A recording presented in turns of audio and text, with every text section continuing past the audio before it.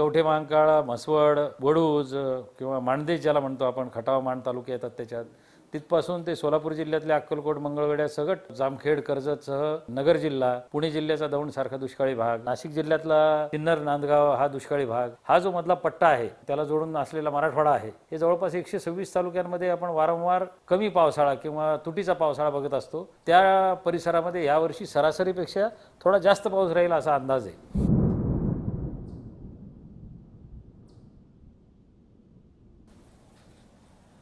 नमस्कार मंडळी. शेतकरी मित्रांनो यावर्षीचा भारतीय हवामान विभाग अर्थात आय एम डीचा पहिला ज्याला लाँग रेंज फोरकास्ट म्हणतो आपण दीर्घकालीन अंदाज तो काल प प्रसिद्ध झाला. सलग तिसऱ्या वर्षी आपल्यासाठी एक समाधानकारक गोष्ट अशी आहे की पावसाळ्याच्या बहुतांश काळामध्ये सामान्य वर्षा राहण्याचे किंवा सामान्य पावसाळा राहण्याचे संकेत ह्या अंदाजातून मिळत आहेत. याच्यात ज्या प्रमुख बाबी आहेत त्यामध्ये दोन पॅरामीटर्सचा खास करून विचार केला गेलेला आहे. तो म्हणजे पॅसिफिक सागराच्या समुद्राच्या सरफेसचं तापमान म्हणजे जर तापमान वाढलेलं असेल तर त्याला आपण एल निनो परिणाम असं म्हणतो.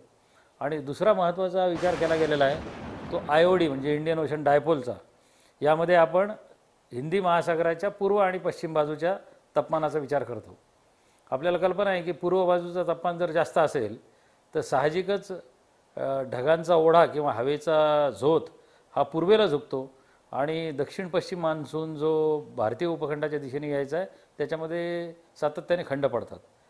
तसंच पॅसिफिक सागरामध्ये जर समुद्राच्या सरफेसचं तापमान त्याच्या पाण्याच्या वरच्या भागाचं तापमान जर वाढलेलं असेल तर तिथं कमी दाबाची क्षेत्र निर्माण होतात.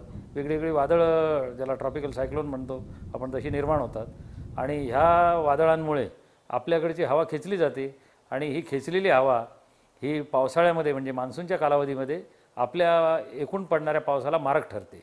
त्याचे घातक परिणाम आपण भूतकाळात पाहिलेले आहे पण ह्यावर्षी ज्या वेगळ्या वेगळ्या मल्टी मॉडल इन्सिबल सिस्टीमनी याचं जे एस्टिमेशन केले गेलेलं आहे याचं अंदाज वर्तवण्यात आलेला आहे याचं आकलन केलं गेलेलं आहे ते असं दाखवतं आहे की पॅसिफिक सागरातल्या समुद्रसपाटीचं तापमान हे सामान्य राहणार आहे म्हणजे नियर न्यूट्रल राहणार आहे.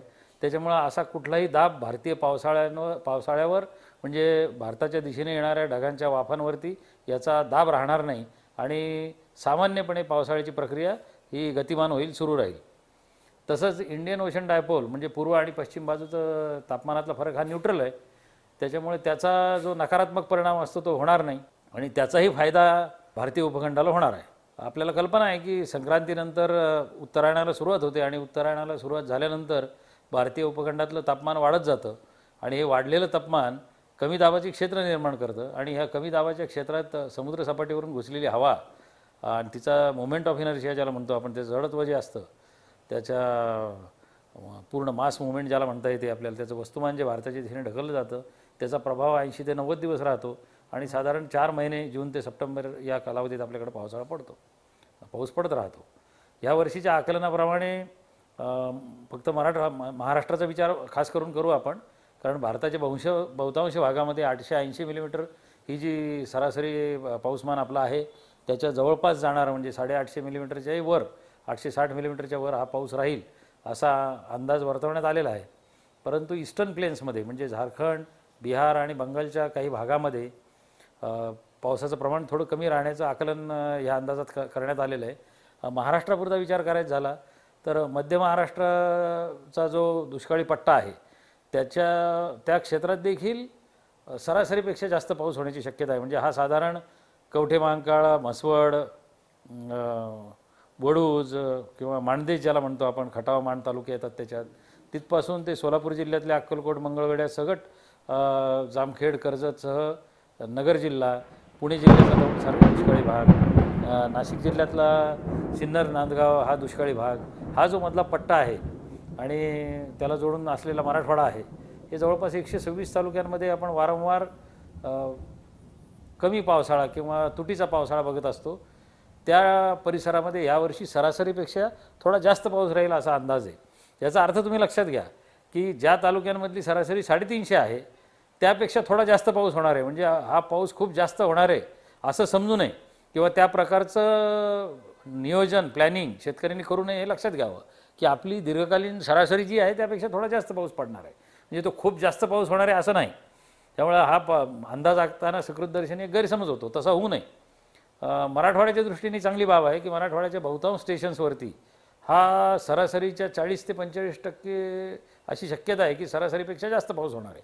एकूण अंदाज जर पाहिला आपण तर एकसष्ट टक्के नॉर्मल किंवा अबव नॉर्मल पाऊस भारतात होणार आहे. आणि एकोणचाळीस टक्के शक्यता अशी आहे की सरासरीपेक्षा किंचित कमी किंवा टंचाईचा पाऊस होणार आहे अशी एकसष्ट एकोणचाळीस टक्के अशी शक्यता आहे. याचं क्लायमेटॉलॉजिकल प्रिडिक्शन असं सांगतं की तेहतीस टक्के शक्यता एकूण सरासरीपेक्षा थोड्या कमी पावसाची आहे. तर सहासष्ट टक्के शक शक्यता ही नॉर्मल किंवा त्यापेक्षा जास्त पाऊस होण्याची आहे. पूर्व विदर्भ पूर्व उत्तर विदर्भातले काही स्टेशन्स आणि मराठवाड्यातल्या पूर्व भागातले म्हणजे हमखास पावसाचा प्रदेश जिथं आहे त्या भागातल्या काही स्टेशन्सवर किंचित कमी पाऊस होण्याचं प्रिडिक्शन अंदाज या मॉडेलमध्ये दाखवण्यात आलेला आहे. तर ह्याचा अभ्यास केला आपण किंवा ह्याचं आकलन केलं तर आपल्याला काय लक्षात येईल की ह्या वर्षी महाराष्ट्रामध्ये सोयाबीनला खूप चांगले भाव मिळाले कापसाला शेवटी चांगले भाव मिळाले कापसाचे स्टॉक्स फारसे राहणार नाही आहेत शिल्लक सोयाबीनची मागणी चढती आहे. ह्या हे लक्षात घेता साहजिकच महाराष्ट्रामध्ये चाळीस लाख हेक्टरपेक्षा जास्त सोयाबीनचं क्षेत्र आणि चाळीस लाख हेक्टरहून अधिक कापसाचं क्षेत्र राहण्याची शक्यता आहे. तर ह्यामध्ये मात्र तुम्ही पाऊस सरासरीपेक्षा जास्त होणार असला तरी कोरडवाहू तंत्रामध्ये सांगितली गे सांगितल्या गेलेल्या शिफारसी ज्या आहेत विद्यापीठांनी केलेल्या त्याची अंमलबजावणी काटेकोरपणे करणं आवश्यक आहे.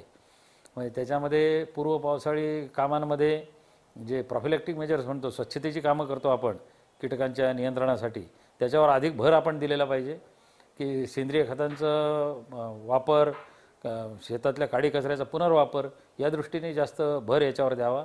आणि मी नेहमी ज्याप्रमाणे सांगतो की नवीन जगामध्ये ग्रीन वॉटर क्रॉप्स म्हणजे पावसाच्या पाण्यावर येणारी जी पिकं आहेत त्यांचं संघटित उत्पादन संघटित लागवड म्हणजे खरीपात तीळ आहे रब्बीमध्ये जवस करडीसारखी पिकं आहेत खरीपातल्या डाळींचं उत्पादन आहे त्याच्यात मूग उडीद तूर आलं. तुरीचं सेंद्रिय उत्पादन करण्याला फार मोठी संधी आहे. एकत्रित गटांनी याचा फायदा घेतला पाहिजे त्याचं आकलन केलं पाहिजे आणि गावांनी सगळ्यांनी मिळून विचार केला पाहिजे की आपल्या परिसराचं दीर्घकालीन सरासरी किती आहे पावसाची? आपण जी पिकं लावतो त्याची वार्षिक गरज काय आहे? मी वेगळ्या वेगळ्या सादरीकरणामध्ये हे सांगितलेलं आहे तुम्हाला कुठल्या पिकाला किती पाण्याची गरज आहे. आणि आपल्याकडे एकूण पर पडणारा पाऊस जमिनीत मुरणारा पाऊस आणि वाहून जाणारा पाऊस किंवा प्रवाहात येणारं पाणी याचं जर ताळमेळ आपल्याला बसवायचा असेल आणि भूगर्भातलं पाणी वाढवायचं असेल तर आपल्याला बहुतांश क्षेत्रावर अशी पीक पद्धती निवडावी लागेल की जी एकूण त्याची पाण्याची गरज कमी आहे. आणि ती आपल्या पडणाऱ्या पावसाशी सुसंगत आहे. पडणारा पाऊस कमी असेल आणि जास्त पीक लागणारी पिकं जर आपण घेतली तर साहजिकच भूगर्भातलं पाणी संपेल आणि प्रवाहित होणारं पाणीही कमी होईल. त्यामुळं पीक पद्धती अशी निवडावी की बहुतांश क्षेत्रावरती पडणाऱ्या पावसावरती आपलं पीक येईल. त्याचे संघटितपणे लागवड केली तर त्याच्यावर प्रोसेसिंग आपल्याला शक्य होईल आणि ह्या प्रोसेसिंगमध्ये आपण सरकारी योजनांचा लाभ घेऊ शकू आणि त्याच्या विक्रीसाठी जे प्रयत्न आपण करू त्यातून रोजगार आपल्या भागामध्ये निर्माण होईल. त्यामुळे मान्सूनचं आकलन करताना पडणारा पाऊस आपण निवडलेली पिकं आणि त्यानंतर आपण आखणारे कार्यक्रम हे सगळं आपलं भवितव्य ठरवणार आहेत. नुसता पाऊस चांगला पडून आपली समस्या मिटत नाहीत तर पाऊस चांगला पडल्यानंतर ह्या समस्या सोडवण्याची संधी आपल्याला निर्माण होते. त्याचा आपण ह्या वर्षामध्ये लाभ घेऊ आणि आपले जे काही संकल्पित उपक्रम आहेत गेल्या काही एक दोन वर्षामध्ये आपण ठरवलेले त्याला अधिक गती देण्यासाठी आम्ही कार्यक्रम आखतो आहोत. मी तुम्हाला विनंती करतो की आमच्याशी संपर्क साधून आपल्या विद्या कृषी विद्यापीठाशी संपर्क साधून वेगळ्या वेगळ्या स्वयंसेवी संस्था या काम ज्या करतायत त्यांच्याशी संपर्क साधून सुयोग्य पीक पद्धतीची निवड करावी आणि परत आपण मे महिन्याच्या शेवटी जेव्हा अंतिम आकलन आपल्याकडे हवामान विभागाचं येईल त्यावेळेला विभागवार सखोल चर्चा आणि पीक पद्धतीवर चर्चा आपण करणार आहोत. धन्यवाद.